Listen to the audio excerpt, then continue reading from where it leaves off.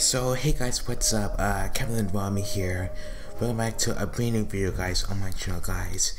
And uh, one thing before we start is that I know this news is kind of old right now, but I just kind of shed some new light onto it. And the uh, second thing before we start is that um, the original video, it has been deleted or taken down. So if you have a file of it or find it online somewhere, just let me know or leave a comment down below or something.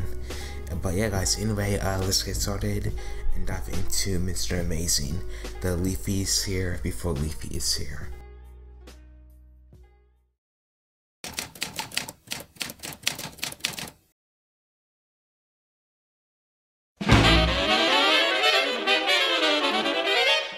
So LeafyIsHere is probably one of the fastest growing YouTubers of 2016 and he pretty much blew up making uh, edgy content called commentary, uh, but to be in Pacific, uh, action and topic commentary. Now, in November of 2015, he had around uh, 420,000 subscribers. Six months later, in March, he had achieved around 2.6 million uh, subscribers. However, late that year, iDubbbz released a Content Cop on Leafy, which killed his channel. But you already know about this. So let's go to a time before all this a time of June 2015. Now, at this time, cringe compilations were on the rise. Anybody who uploaded these videos would get thousands of subscribers and pretty much millions of views. Some users even made whole channels that strictly dedicated to cringe compilations. But somebody saw this craze and wanted to change it. That person being Mr. Amazing. Now, Mr. Amazing around this time had 38,000 subscribers. He uploaded Quinn's Legends with commentary in them and a baby intro. Very similar to Leafy. However, in late February, Mr. Amazing's channel got taken down due to copyright reasons.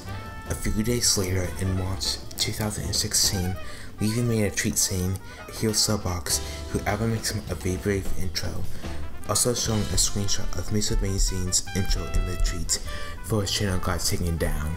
Someone then replied to Leafy's tweet mentioning Mr. Amazing's channel being shut down. Leafy said that it was sad to see his channel go, but because of the removal of the original video, I don't have proof to back this up. Eventually someone did make the intro for Leafy, but Leafy did not uh, credit the intro maker whatsoever, and much got away with it. And so, yeah guys, that's pretty much where it leaves off. Leafy pretty much gets away with this. He did watch and like Mr. Amazing's content, yet didn't credit him or the intro maker whatsoever. Now, Mr. Amazing has over 130,000 subscribers.